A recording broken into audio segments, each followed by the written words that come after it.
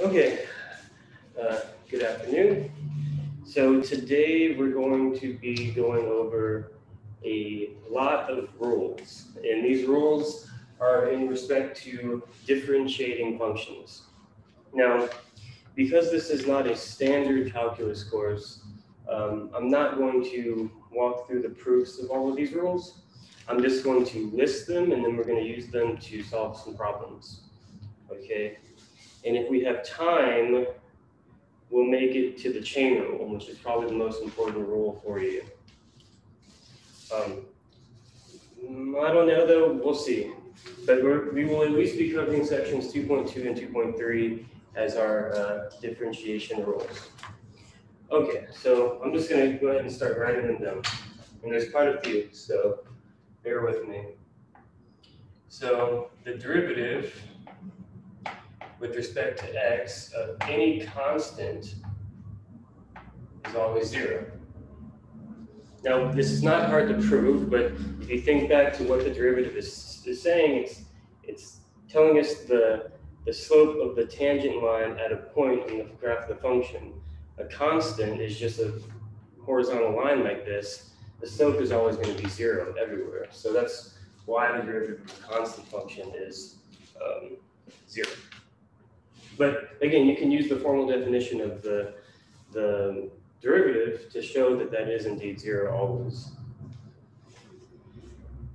Okay, so next, suppose that, so if n is a rational number, so a ratio,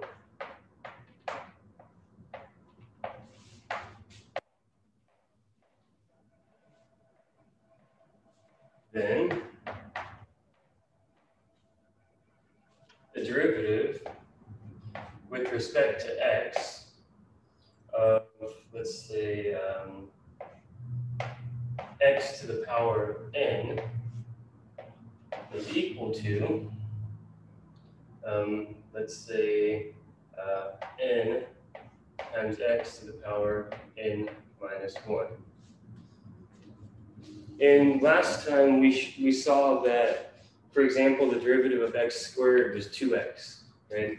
So this is just a generalized version of that. So if you take the derivative with respect to x of the function x to the power n, then um, this will be a resulting derivative. Okay.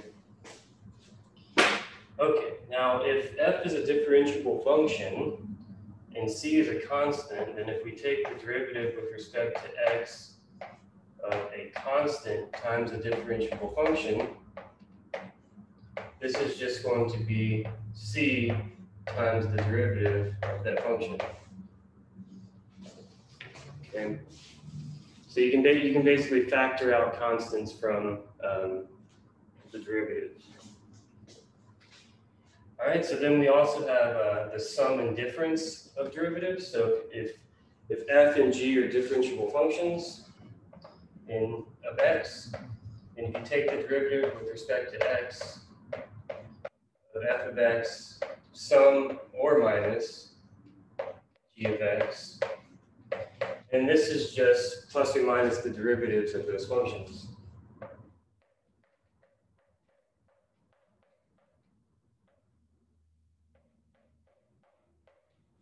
So respectively, if it was sum, you would take the sum of the derivatives. If it was the difference, you would take the difference of the derivatives. Um, and then finally, two more. So the derivative with respect to x of the sine function of x, that's equal to cosine of x. And the derivative with respect to x of the cosine function of x is equal to negative sine x.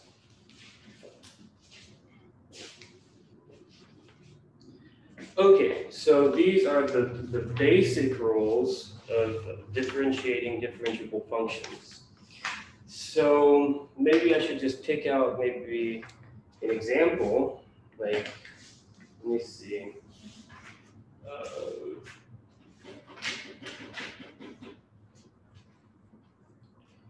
Like, for example, let's look at maybe the derivative of f of x equals to x squared plus 5 minus 3x minus 2 to the power minus 2. So, okay, we see that we take the derivative of a sum or difference, so this is basically a sum or difference here, so we can just take the derivative of each of the pieces. So if I look at, um, so maybe f prime of x is equal to the derivative of the first piece. So that means derivative with respect to x. x squared plus the derivative of the constant. 5 um, minus the derivative of this piece here.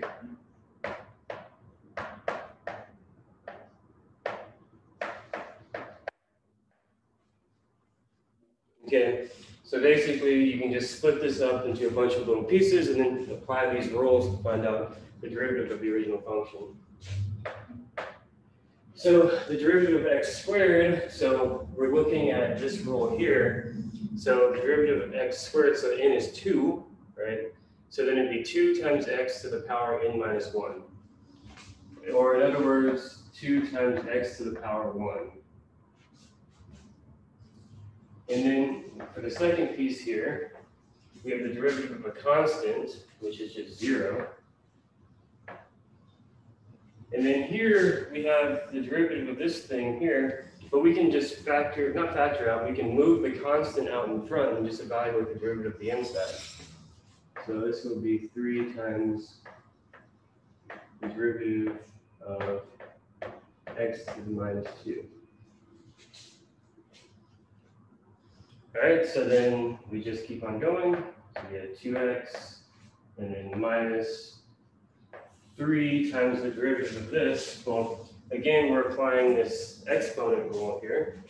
So now n is negative 2. So this is going to be negative 2 times x to the power minus 2 minus 1. Or in other words, minus 3.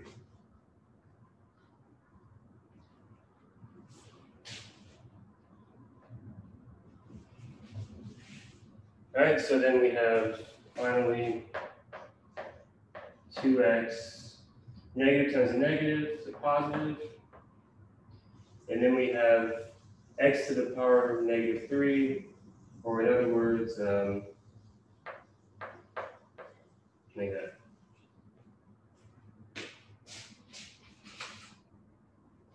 So here, this would be the derivative of that function.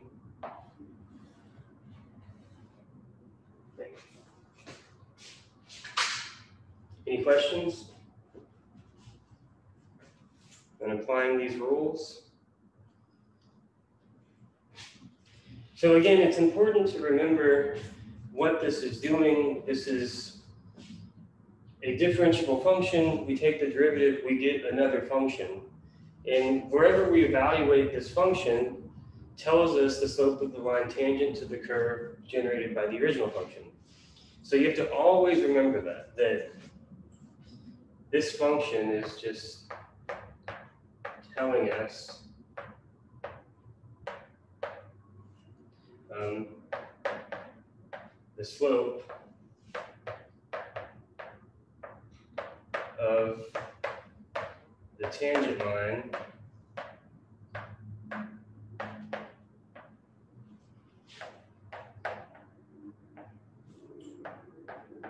to the point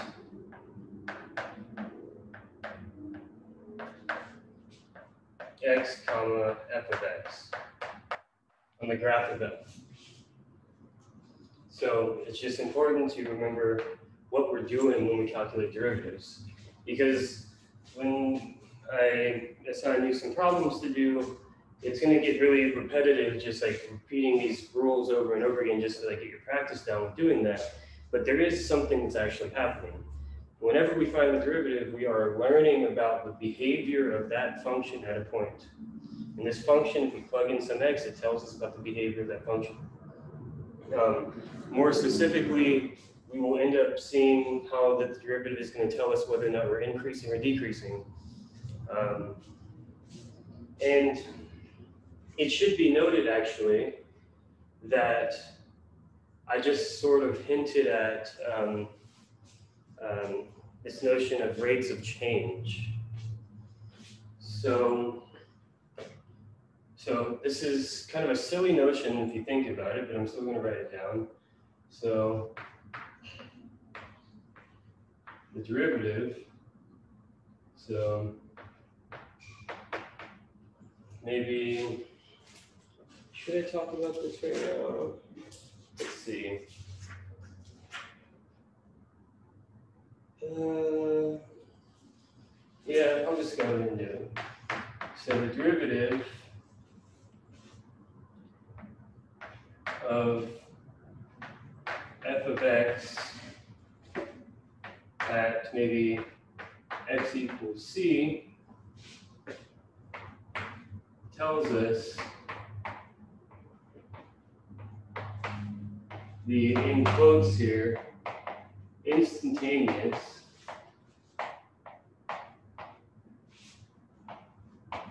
rate of change at f of c. Right? So how do we interpret this? Well, like so imagine we have some function that's telling us maybe meters, like distance, so meters, and this is like your distance. And then on the x-axis, you have maybe t in seconds.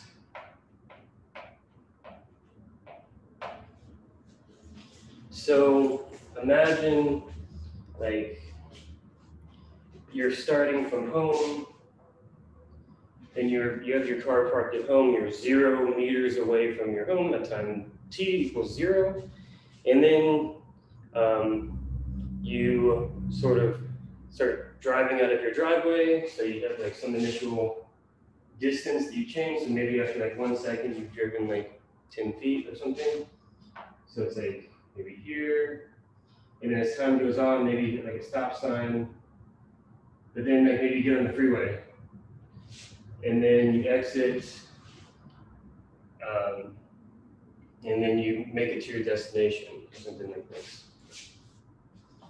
So after maybe, I don't know how many seconds you make it to your destination, and this is how far away you are from home, right? So the average velocity, so so, so this is like average is just equal to your change in distance over your change in time. Change in distance over your change in time. So what is that? So this is, you can think of this as like your, here's your last point, here's your first point. That's like saying m2 minus m1 over uh, t2 uh, minus t1. So that would give you the slope of the line connecting those two points. So this would give you your, so your change in distance divided by your change in time. So like how many meters did you travel over that amount of time? So this would be your average, but you can see like here, you were stopped at a stop sign, right? So what would be your velocity here? Your velocity, which is meters over seconds. Throughout this whole interval there, you're not changing any distance over that time, so your velocity is zero. But if you look, and you pick any point, like maybe C is there, and then your distance function, I'll call it D at C, evaluated here. So if you look at the derivative here, it's zero, right? So notice that d prime of c is equal to zero. If you look at any tangent line to this to that point, which is c comma dc, it's going to have zero slope, so the derivative would be zero. So the derivative at this point tells us that we weren't moving right there. Whereas the average velocity would be some positive number, and that would tell us nothing about our motion here. Now, if it were, for example, so here we're on the freeway, right, which we're going faster than we did throughout the whole trip. So if I had like maybe C um, two or something, and then this would be like the distance function evaluated d of C2. Notice here we're going faster than the average velocity because if we look at the slope of the tangent line at that point, that's steeper than the average velocity uh, line. So here, um, d prime at c2 would be greater than your velocity average. And that tells you something. It tells you that you were going faster than your average velocity when you got onto the freeway, right? So if, like, now, if this was like your own driving, you would obviously know that you're going faster. But if you didn't know anything about, like this could be like a particle moving in space or something, and you just, you, you mark down where it's going, and you give it some function that approximates the motion of that particle, then you can learn about the behavior of it by looking at the derivative at different points. Okay, now this also, this doesn't have to just do with, with seconds and distance, so velocity. This could be like, I don't know, um, like maybe um, amount of, of uh, materials versus cost, right? So if you have some like profit that or loss that deals with materials being used, you can look at well when what materials like make the the profit change the most in the positive way. Like how do you get, get the steepest gains for that amount of profit? So that's where you'd want to find derivatives that are high or something similar to this type of problem. Okay, so um, let me write down um, another problem here real fast.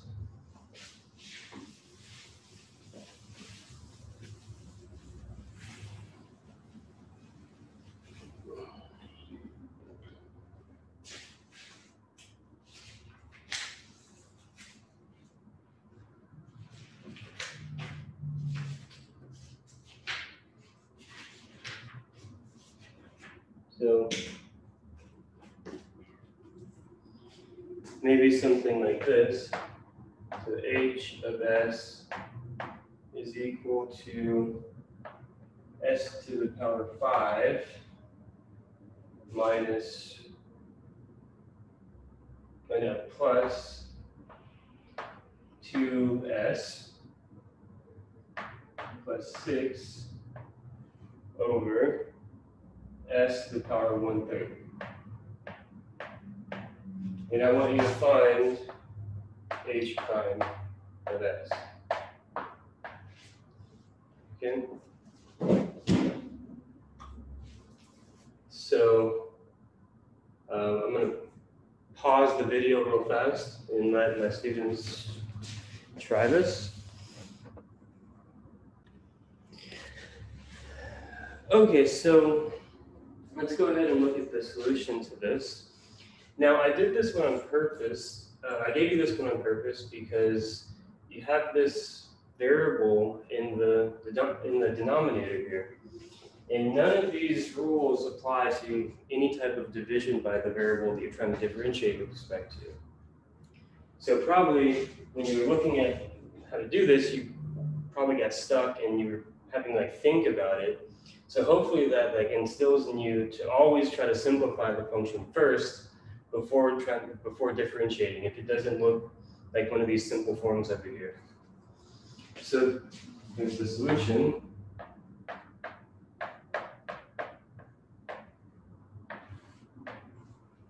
So first I'm going to note that h of s, I can rewrite this, this uh, ratio is a sum of ratios. s to the power 5 over s to the power 1 half plus 2s over s to the power 1 half plus 6 over s to the power 1 half. And now I can simplify each of these pieces here and get it to where it kind of looks more like maybe a sum of, of, of things like this. So here this would be s to the power 5 minus a half plus 2 times s to the power 1 minus a half plus 6 times s to the power negative 1 half. So let me just simplify this down now. So this would be, um, what is that? Um, 9 halves? Yeah nine halves. Five minus one half. Plus two times s to the power negative one half. And then this stays the same, six times s to the power negative one half. Okay. Oh, and then I can combine my terms here. These are both s to the power minus 1 half. I should have noticed that uh, yeah, earlier.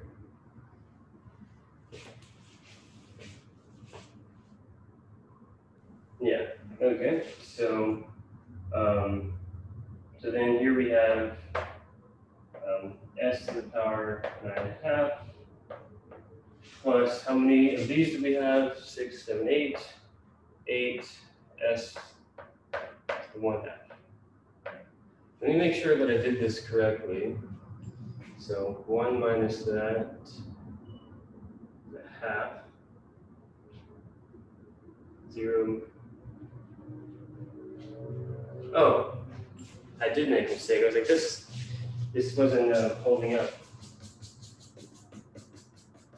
This is just a half. So these aren't like terms.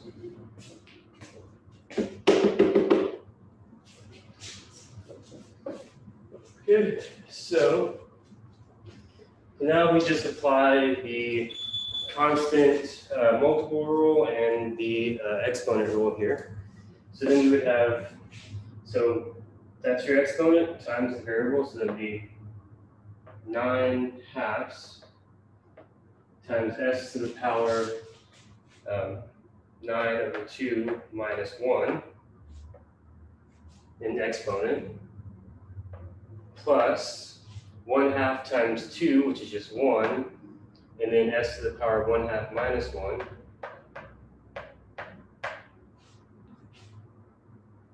Let me make sure that y'all can see that. One half minus one. And in here, negative one half times six is negative three s to the power minus one half minus one. So nine half minus one is what? Um, uh, five halves. So it'd be nine half times s to the power five over two plus one half minus one is negative one, so this will be one over, or negative one half. So this will be one over half, or s to the power one half. And then this is going to be, so negative one half minus one is um, negative three halves. So then this would be um, minus three over s to the power three halves. So that was h, which came to here, and then this is when I took h prime.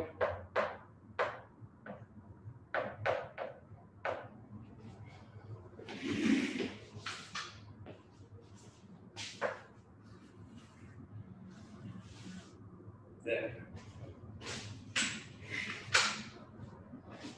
Okay. So hopefully you can make out these one halves here. Um, just it's, it's always just subtracting one from the exponent. That's what you're doing. So this rule pops up quite a bit, and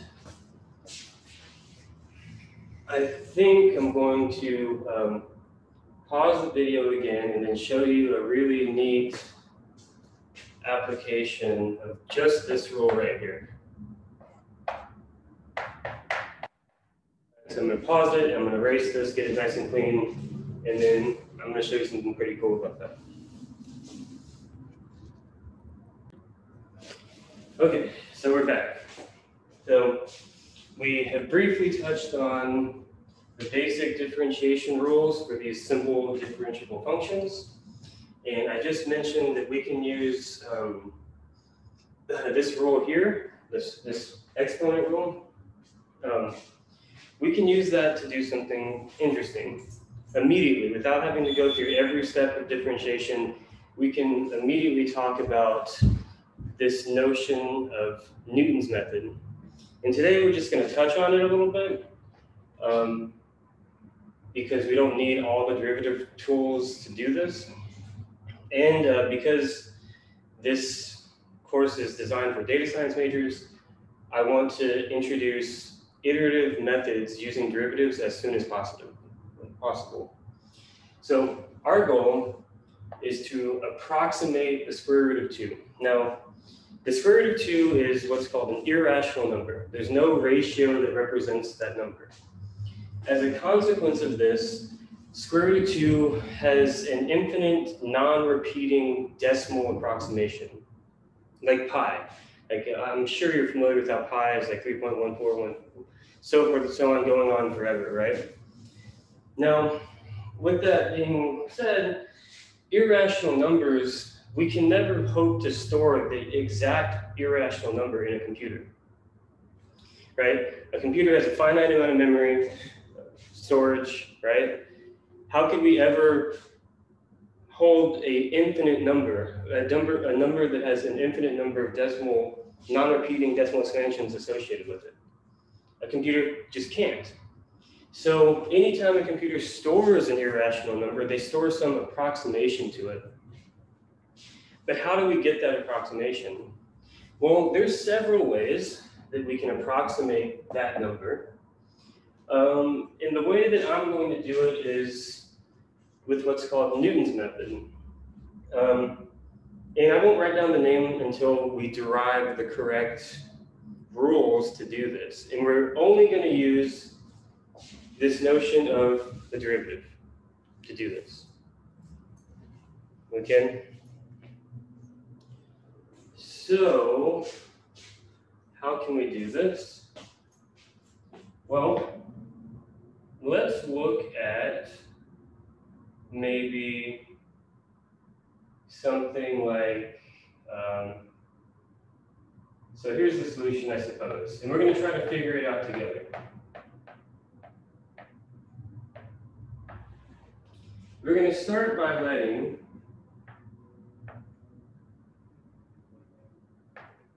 let um, f of x equal to x squared minus 2.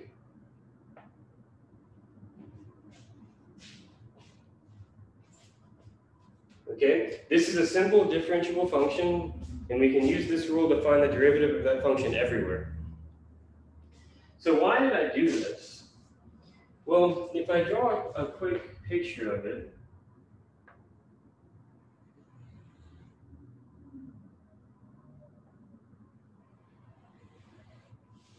So this is the parabola that's been dragged down by two units, right? And it looks something like this. I need to over exaggerate it for the purposes of learning what we're doing. So then kind of over exaggerate it.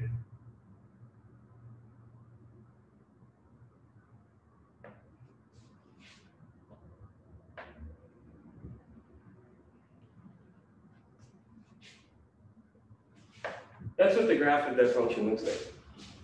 Sort of. Again, I, for learning purposes, I made it kind of fat, but it works. So what are the zeros of this polynomial, of this, of this quadratic? What are the zeros?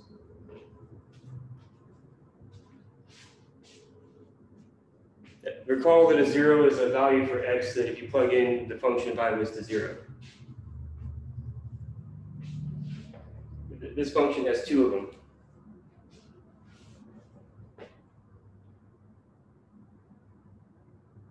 Anybody? The square root of two and negatives. Uh, What square about this?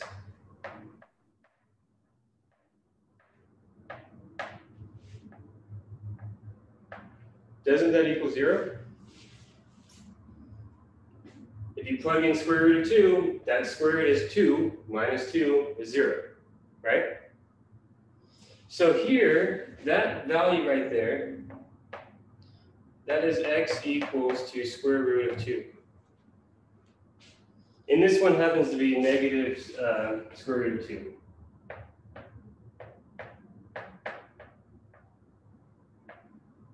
Those are the two zeros of that function.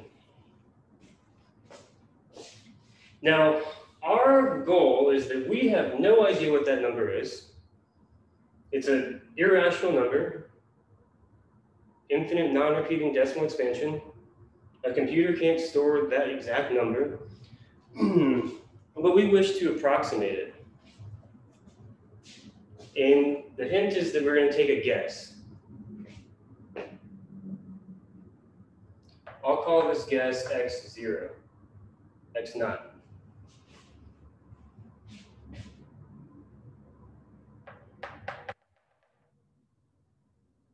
So that point right there is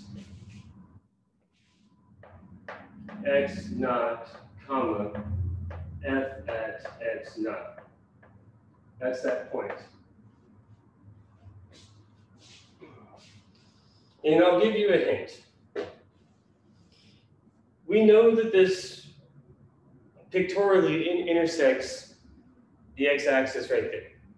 So if we guessed right here, we guessed kind of far from that, and we, we know that we need to go that way by looking at the picture.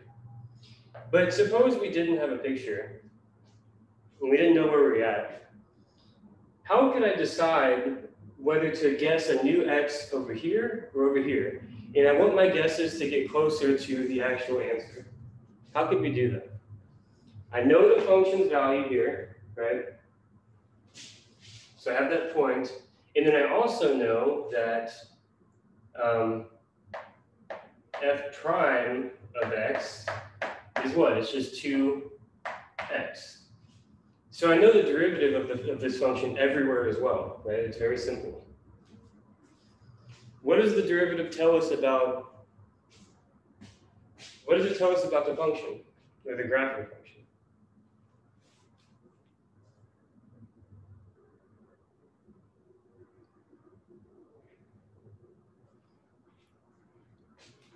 It tells us the what?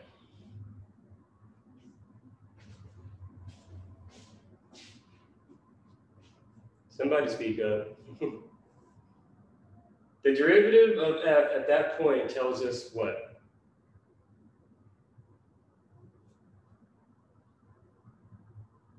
The slope of the line tangent to the graph there, right? In particular, it tells us, I'm going to draw the line.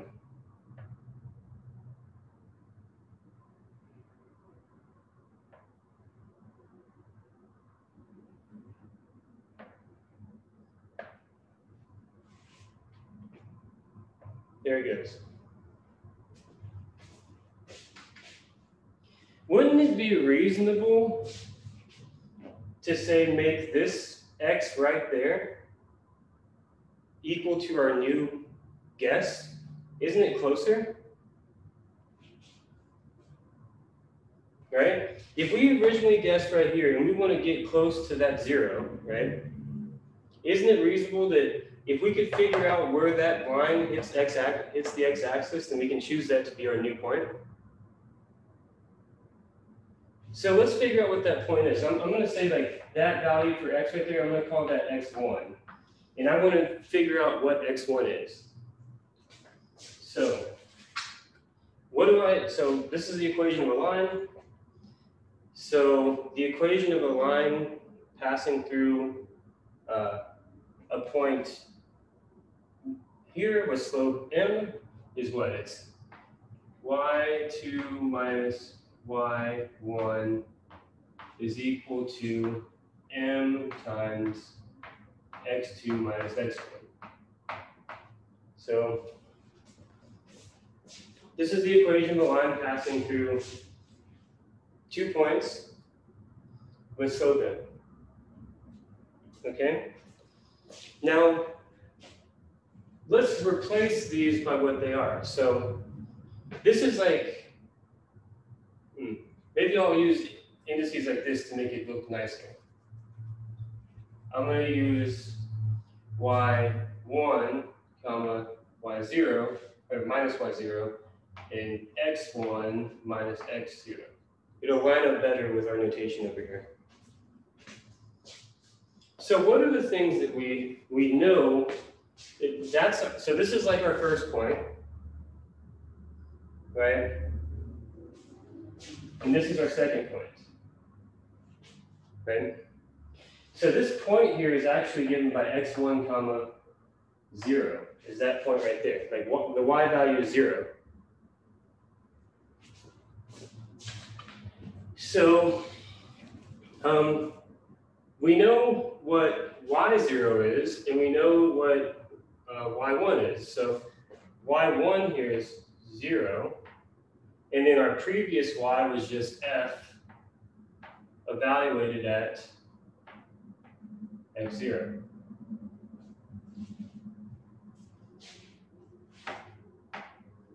And what's the slope of this line? Someone say it out loud. What's the slope of this green line right here?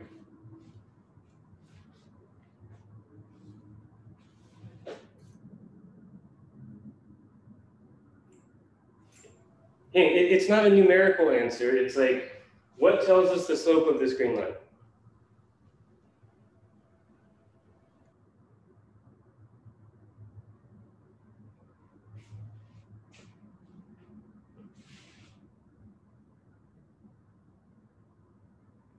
Anybody?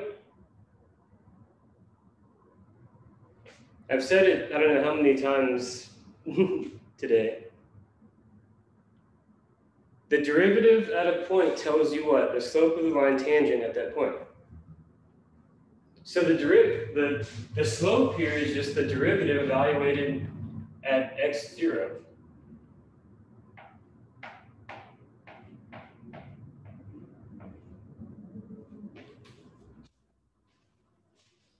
And then here, the x's can the same.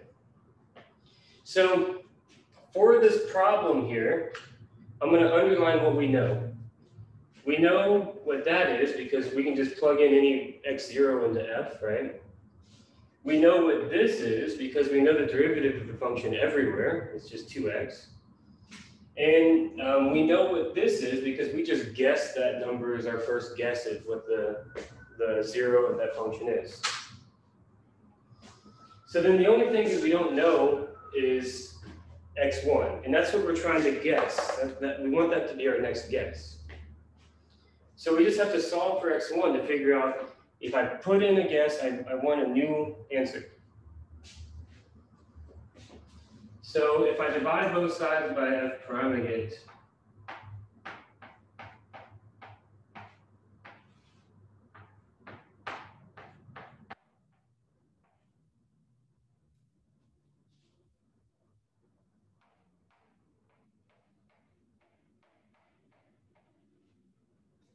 And then if I add x0 to both sides, I isolate x1. I get x1 is equal to x0 minus this quantity here.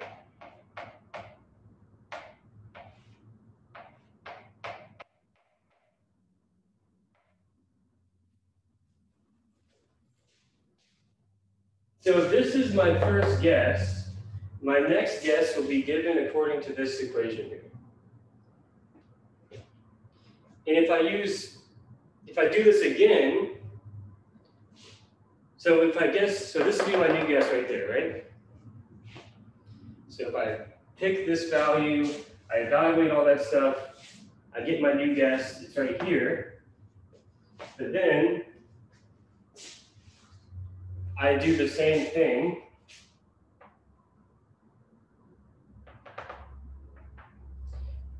And I get a new point there. And then I can, I can find the equation of this line.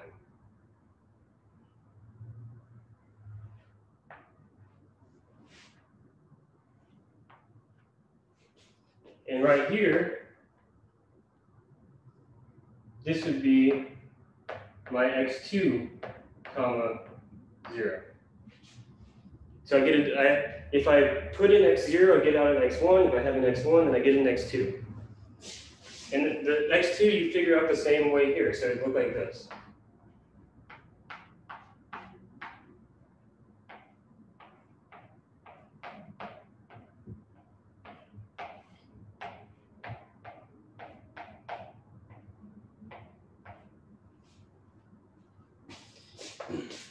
So then with my x2, I have another point. I could evaluate it like right there. And then I have another line. And then that would be like my x3 comma 0.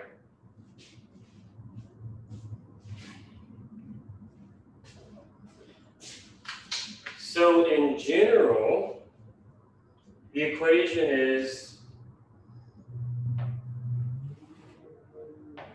x n plus 1 is equal to x n minus f of x n all over the derivative at x n.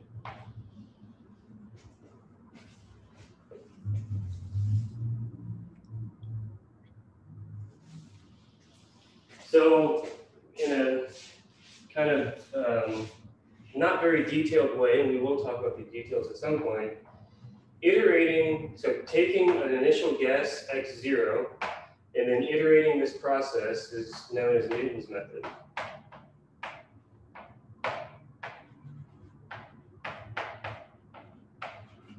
Uh, for finding zeros of a function.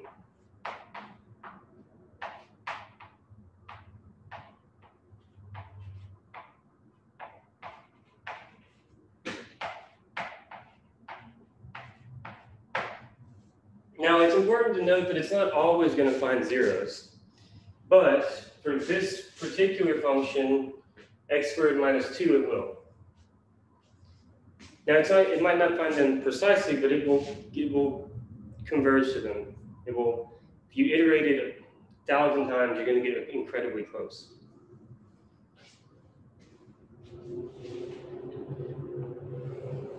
So that's what we're gonna do. Because, and this is a very simple function. All we need to know is the derivative, which we do everywhere. We take a guess a little bit bigger than square root of two, and then we just iterate until we get close enough that we're satisfied. This is what's known as an iterative method.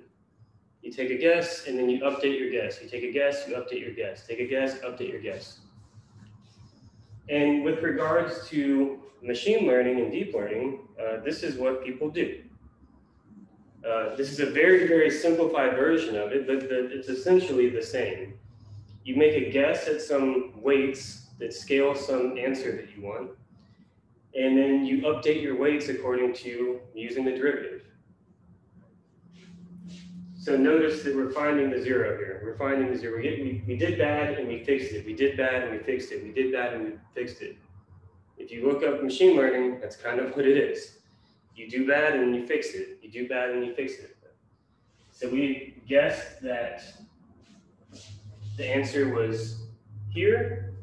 And then if we just iterate this process, it will learn better and better answers. Okay. And of course, there's going to be a stopping criteria. Like you don't want to run this forever. You'd probably run it, you picked right here, you'd probably run it like uh, 20 times, 50 times. Or you could set a tolerance and say that when um, um, when f at this value is close enough to zero, you can just stop. And then that's the whole goal. You're finding zeros, which give you the, the approximation to square root of two. Does that make sense? Like, does it kind of feel like learning, like machine learning? Not, not, that you know what machine learning is really, but if you think about it, we gave it an arbitrary guess, and then we just apply this a bunch of times, and it starts spitting out better answers right? Okay, so I'm going to pause the video now and um, pull up a, uh, um, a Python IDE to kind of walk through this.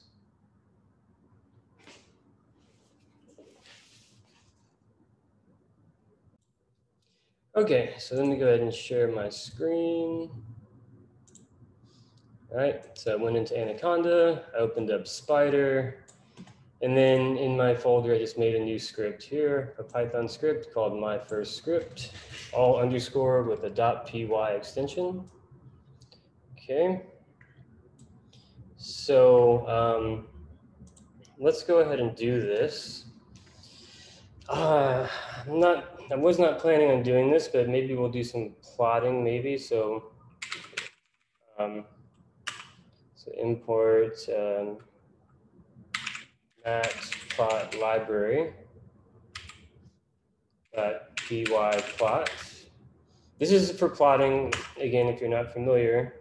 So we're importing this package as plt. I think that's the only thing that we'll need. So again, our goal is to find the square root of two, um, or approximate it. So, uh, so maybe I'll use like strings in this little script, and I can do three here, and then do three down here.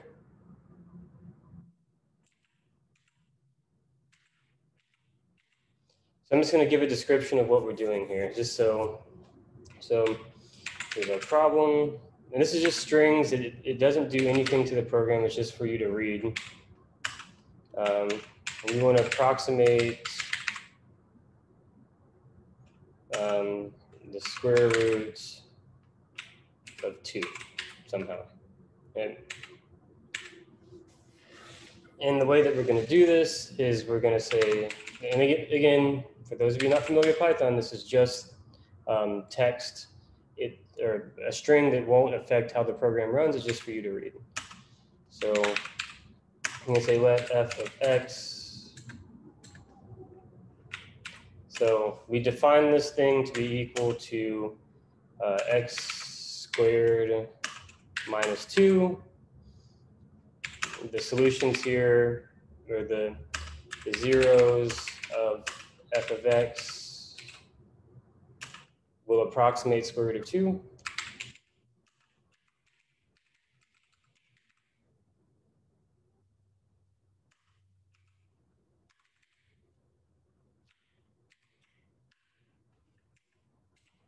Okay, um, so the way that we're going to do this is we're going to make an initial guess. So I guess this is like Newton's method.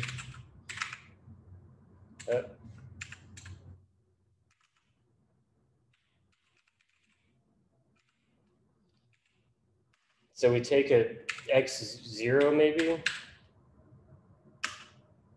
as a guess to the correct answer.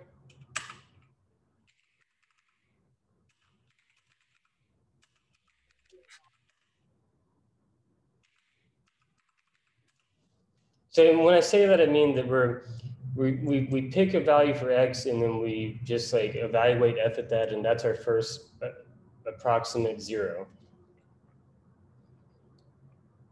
So it's like a two part step here.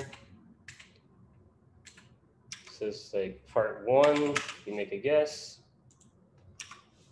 And then part two, um, we say that x of um,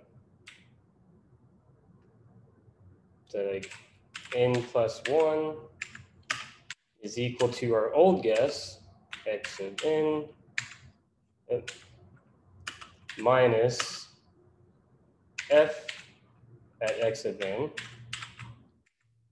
divided by uh, f prime of xn.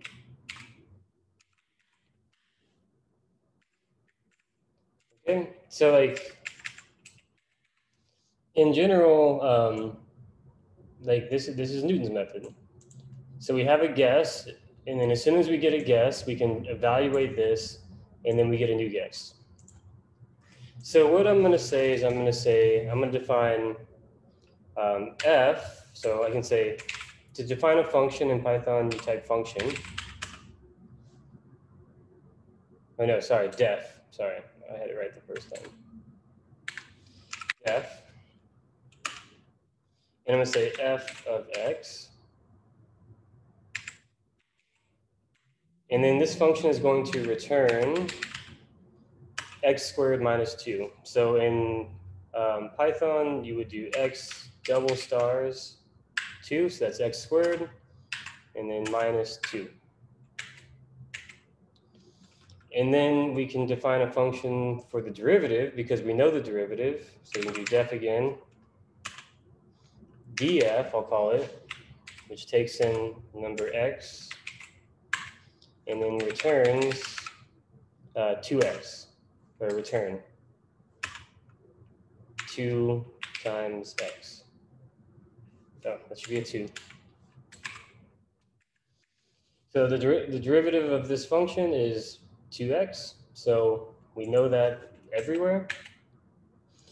So I'm going to say like, let's look at like, say x naught is equal to, let's make our first guess to be like six. All right. So then if we update according to this formula, we'll have x one is equal to like our old value, so x zero minus f of x zero divided by df of x zero. All I did was just like, I defined my functions, I made a guess, and then I update. So actually I'll put in strings here so you can like, or some text so you can see what's going on. So this would be our initial guess. And then this would be like our first update.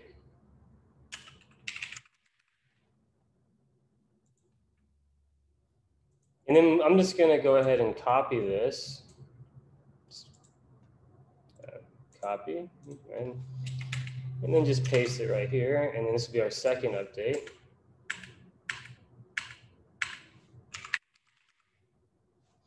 But now we need to make an x2. So I replace x1 by x2, and then all these x zeros by x1.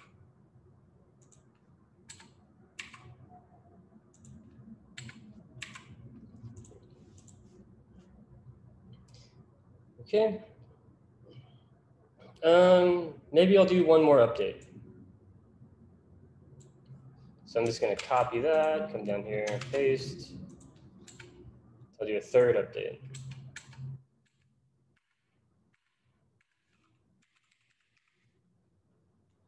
So then here we have three, and then wherever you see a one, place a two.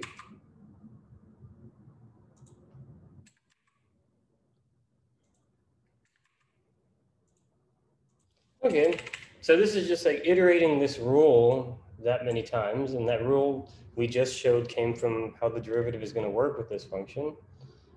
So I'm just going to click this little play button up here. And now we ran it. And if I look at my variable explorer, I see that my my initial x is there. Here's my um, next guess. Here's my next guess. Here's my next guess. So if I just look at like, and by the way, um, when I've ran this, these functions should be imported in my console. So I can do f of x0 was 34.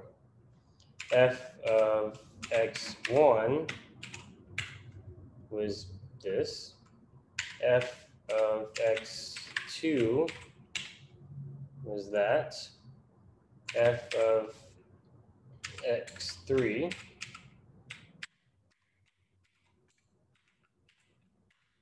is that.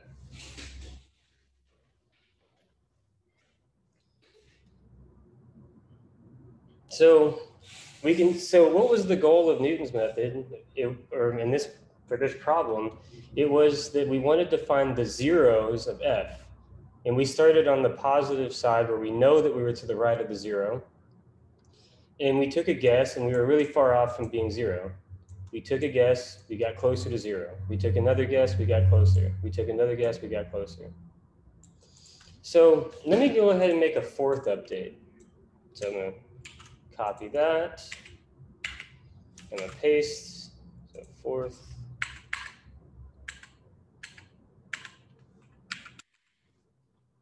So now I gotta like make a new, new uh, there. So x4 is now this, three, three, three. So now let's uh, let's try let's run that. Okay. So then let's look at f of x four. Oh, it's even closer to zero. Do you see that?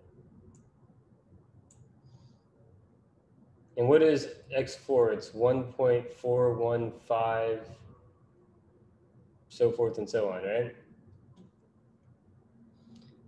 Um, let's see.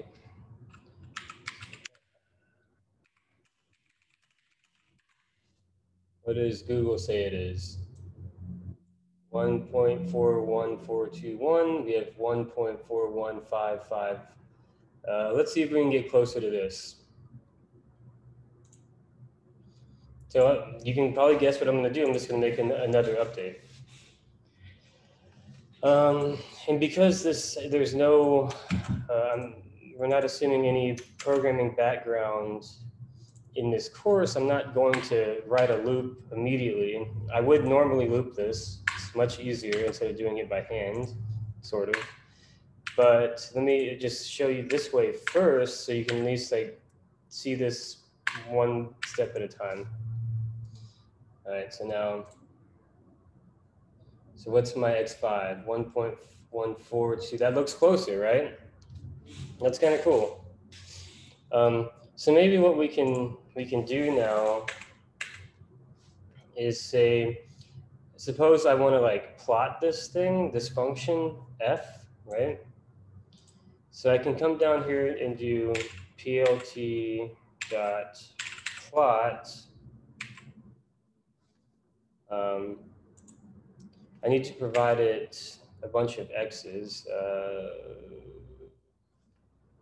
uh, I don't know if I want to do that. Let me see real fast.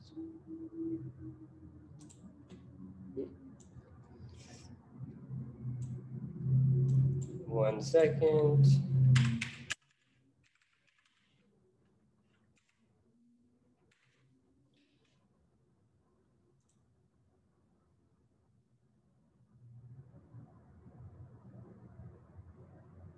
Let me just try something real fast.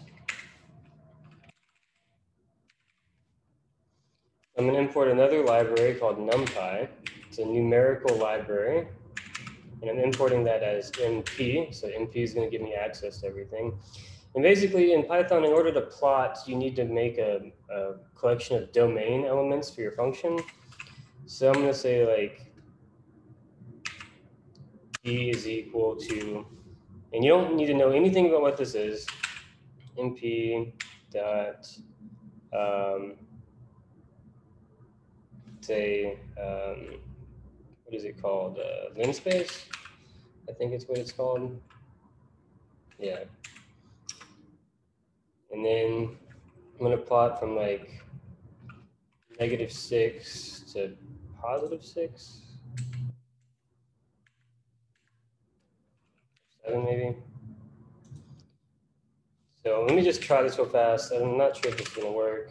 D and then F of D. It's probably not gonna work. Let me just see. Oh, there it goes. So um, let me just, I'm gonna make this nice for you. Now this, from what I, from now on, what I'm doing, I don't expect at all for you to understand because plotting takes a while to learn in Python, but you can at least follow along and watch um, a, a video, watch this YouTube video later to get a sense of how to do this. So now I'm gonna do plt dot, um, I think it's called grid. Make the grid pop out. Let me see. All right, so then we can see the y-axis right here. I mean, the x-axis is zero, and here's the y-axis, and we see. So maybe I'll, I'll, I'll make it a little bit closer. I'll say um, from negative one to maybe two, or no, three.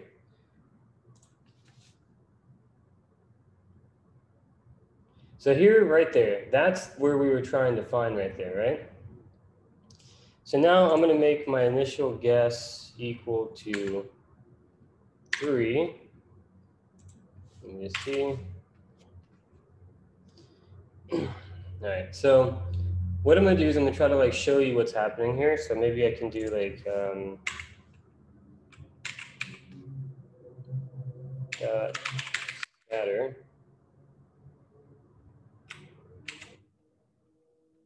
See if this works. X zero. So the way that plot and scatter work is you provided a domain and you provided uh, y, y elements after that. So that's all I'm doing right now. So I'm providing that one guess, and then I'm going to see if it'll do this for me. F at that one guess. Let's see if that and then make it colored red. And again, this is kind of a very slow way of doing it, but I think it would be probably the easiest for you to go back and understand opposed to me doing it in a fancy way.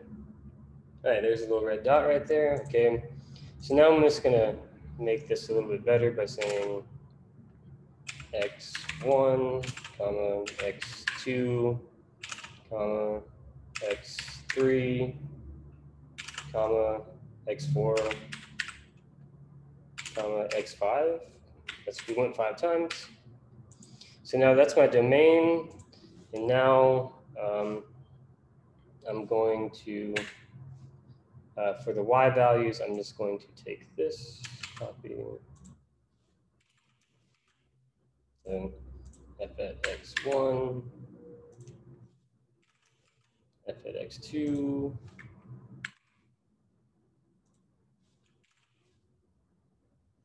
f at x3. I gotta do this two more times. f at x4, and then finally f at x5. All right, so if I just want to run that. So you see that they're starting to like jumble up over here. So now I'm going to get even closer. I'm going to say that I'm going to make my domain from one to three so we can really see what's going on down there. So here we go. This is our first guess at x equals to three. It gave us the function's value there. And then our new guess was like right here, right there. And then that was the function's value there. And then our new guess was right here. And then our function's value was there, so forth and so on. We did that five times. And then after doing it five times, the guess that we came up with was that, which is fairly close to what you would see on um, like any like Google search that you do. Okay. So for those of you that are more interested in a, a, a more um, standard way of doing this, instead of doing this one by one by one, you can do a loop.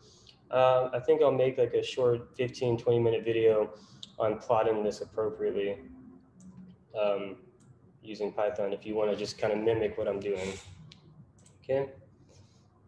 All right, so I'm going to go ahead and stop the recording now, and then uh, I can take some questions.